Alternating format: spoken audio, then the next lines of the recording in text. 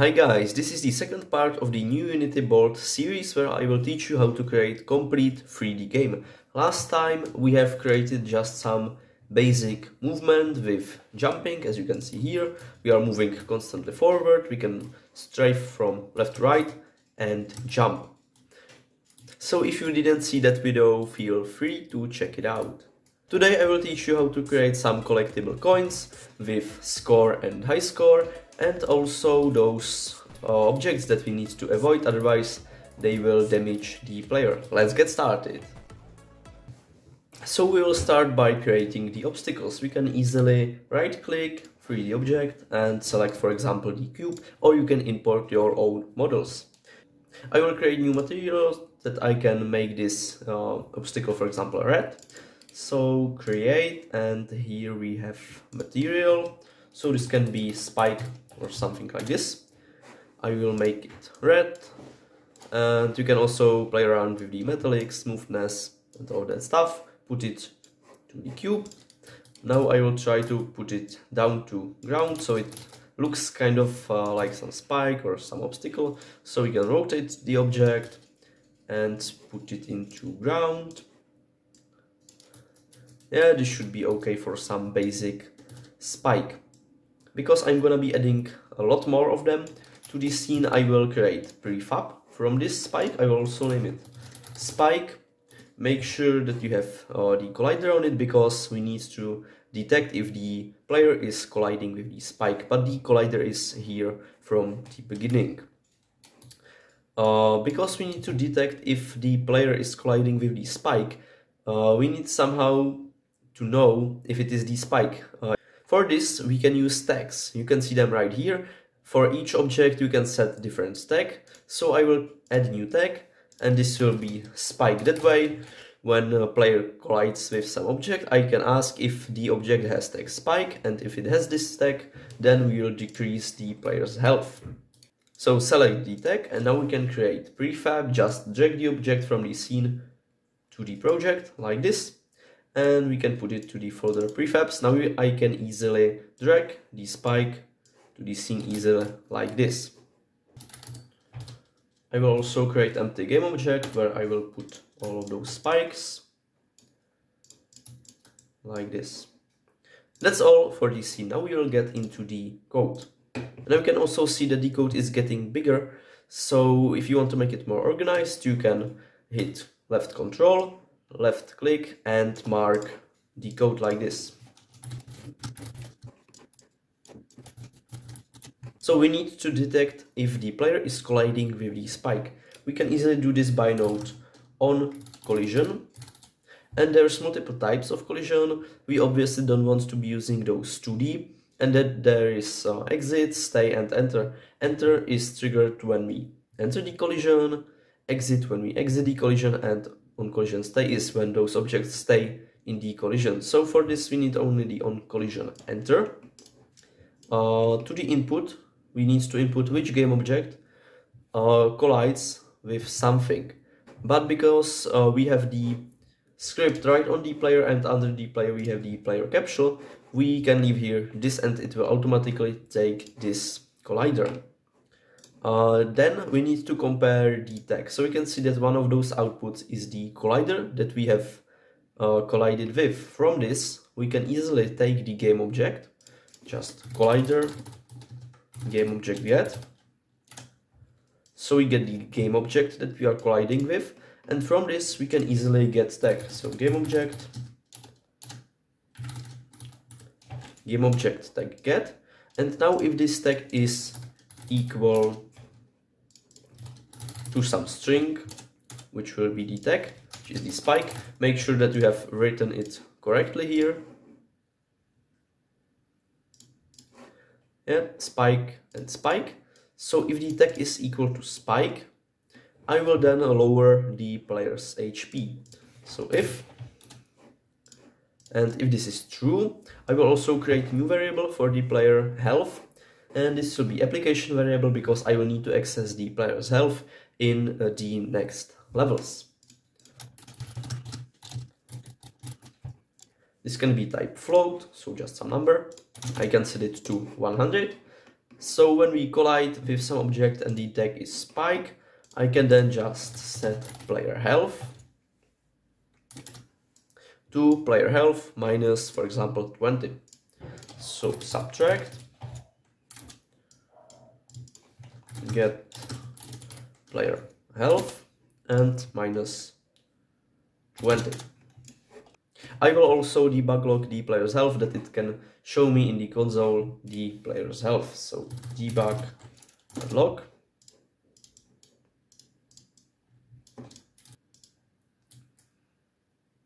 Yeah, you can see that when I'm hitting those spikes, the player's health is decreasing by 20.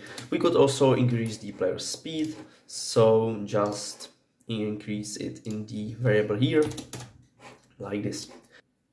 Next, we'll make those pickable coins. So now we can create the coin, this will be the same as with the spike, create new 3D object, this can be sphere. We will create the new tag, set the tag, also create new material.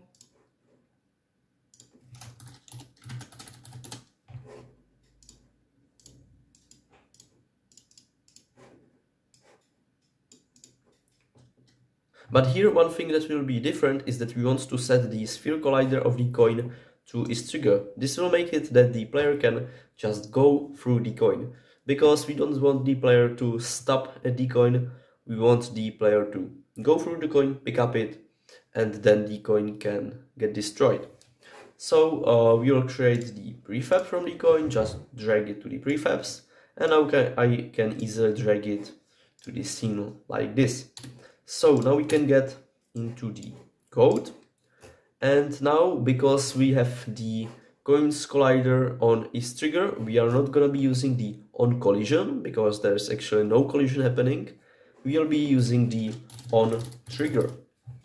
And it will be on trigger enter once more because we need to only trigger the node once pick up the coin and then destroy it and now we will do the same thing with the tag comparison. So we can just copy this part. Uh, get the game object that we are now colliding with. Get the tag if the tag is equal to coin. And if this is true, we want just to add some player score and destroy the coin. So I will create new variable for the player score, which can be int because uh, we are working only with whole numbers when it comes to the score. And when this is true, we can just set score to score plus one.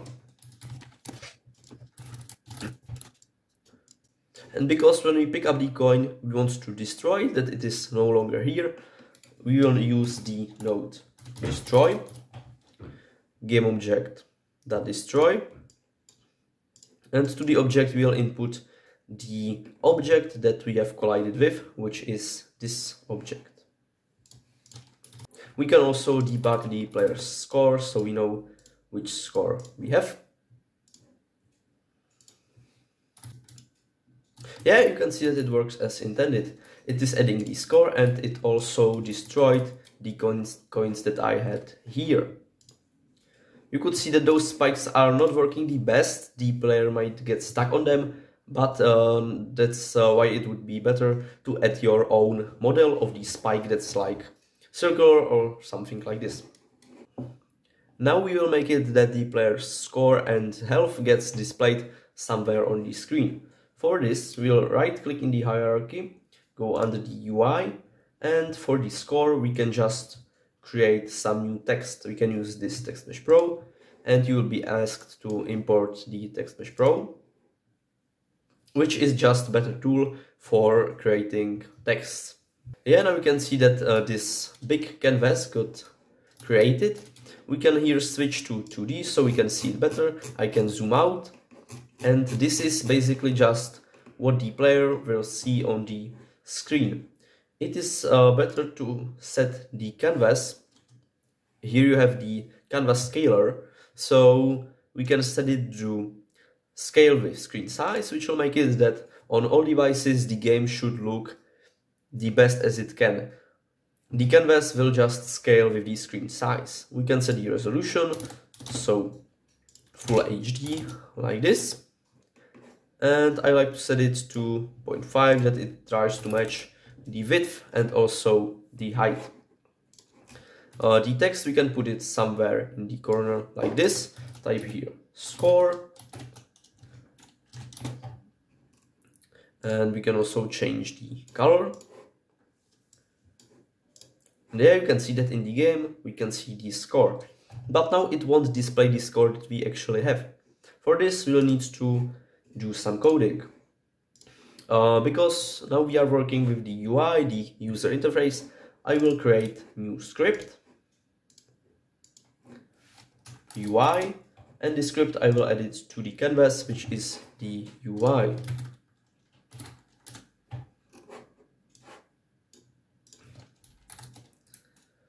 So here in the script we just need to get the score value and set it to this text.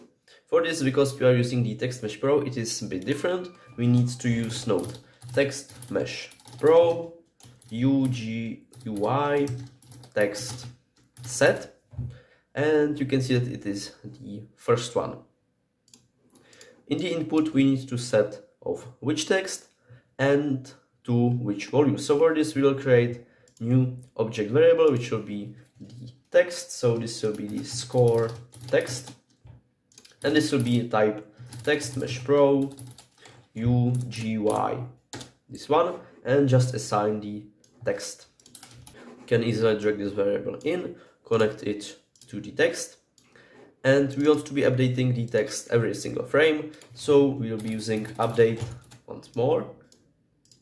And the volume will be the score volume which is for example 10 and we also want to add the score text. So it says score 10.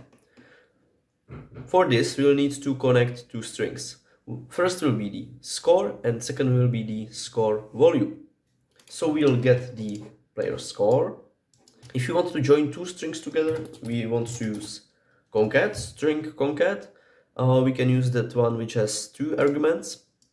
So the first string will be just score and the second will be the score volume. But because the uh, player's score is type integer, we need to convert it to string. This we can easily do by to string, uh, int to string, convert the integer to string like this. Now just connect the flow, connect the text volume that we want to set it to, and now it should display the score. Yeah, when I collect the coin, it is displaying the correct score.